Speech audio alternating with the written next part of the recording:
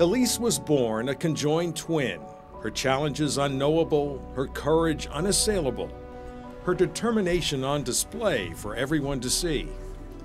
Have a great day. The skills that Elise gained through her AbilityOne program training and support enabled her to gain upward mobility and employment in the commercial sector. Have a great day. I'm a people grader.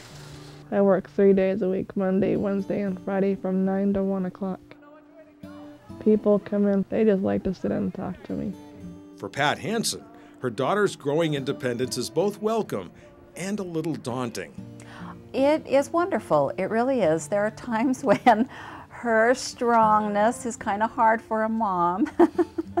but um, it is wonderful because that's what you want for your children to grow up and become as independent as possible, to be good people that can go out and work and, and treat people well. And to see her do that is wonderful. It's just a real joy to watch her and to see her interact with people and to have a productive life. It is, it, it's just wonderful.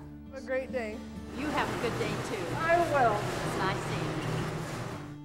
I've been at Walmart five years, and my coworkers don't even think I have a disability because Have a great day. I'm a hard worker. I said it's actually fun. to see how far she has come and then for people to recognize that um, she has made a great achievement. Uh, it's just, you know, as a mother, what more could you ask for for your children? All right. You have a great day, okay? Have a great day.